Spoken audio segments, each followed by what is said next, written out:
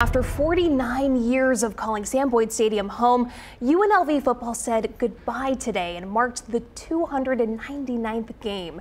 And it very well may have been the best of the bunch. Fox 5 sports reporter Vince Sapienza is here to show us the stadium finale. Vince? Cassie, UNLV football fans, when they look back at the season as a whole, there's going to be a lot of disappointment. The season of shoulda, coulda, wouldas. However, when they look back on this day, on this game, there's going to be a whole lot of smiles. Now, I've got more highlights than I have time to show you, so let's see how this one shook out. More than 200 UNLV football alumni showed up to say goodbye to Sam Boyd. Rebels legend Randall Cunningham with the coin toss honors. UNLV led 21-6 at the half. Now, in San Jose, you don't put mustard on your hot dog. You use Dijon, the Spartans. DeJon Packer kept it 300, showing the fight looking like Leonidas, a man amongst boys. San Jose outscored the Rebels 22-3 in the third and led late in the fourth 35-31. Under two to play. Kenyon Oblad, Henderson's own, looking like a carny at the fair, just dropping dimes left and right. Drops the bucket to Randall Grimes, the sophomore with clean catch, gain of 38. Two plays later,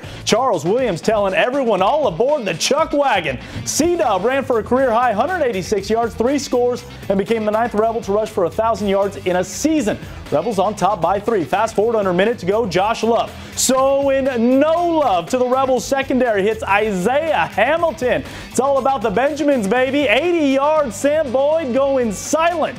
But with 12 seconds to go, it got a rock. And third and goal from the five, the Bishop Gorman's own Greg Francis bats the ball, and Kolo Uasike comes down with it. UNLV's fifth takeaway of the day. That would be the seal and the deal as Tony Sanchez, the Rebel snap four-game skid, sending Sam Boyd Stadium out with a win, 38-35, your final to see it close down is bittersweet. Um, but like in every story, there is a new chapter. You know, and the new chapter is Allegiant Stadium. The new chapter is Fertitta Football Complex. The new chapter is this program now having access to facilities that they never dreamed possible five, six years ago. So it's going to be uh, it's an exciting new chapter for, for the Rebels.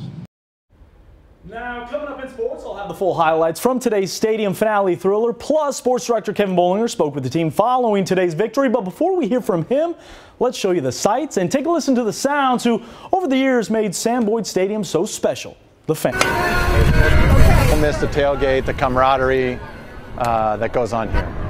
I love Sam Boyd Stadium. Um, I'm excited they're going to Raider Stadium, but I am going to miss going to games here at Sam Boyd and being able to tailgate, oh. have this fun in the parking lot beforehand.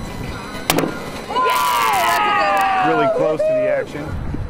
How far away every seat's good in the stadium? They used to have the fireworks here at Sam Boyd, and I could see those from my patio. Fans, I see the same people every year around me.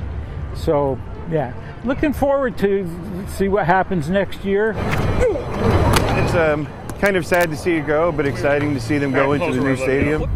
Once a Rebels fan, always a Rebels fan.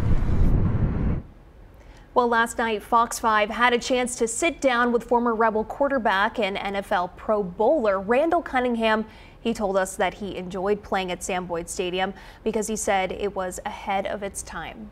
You know, Vegas, we try to do everything big, just like with the Raiders Stadium coming in here. It's going to be pretty amazing. But uh, yeah, it was it was a beautiful stadium, and we would go, and there were not many stadiums that were like our stadium. Beautiful locker room. Uh, both teams would come out side by side, and you'd look over there. It's like, yep, you're in our stadium, and the cannon would go off, and it was just it was a beautiful thing. Well, Cunningham says that he hopes the stadium will stay around and that it can be potentially a new home for a new football team.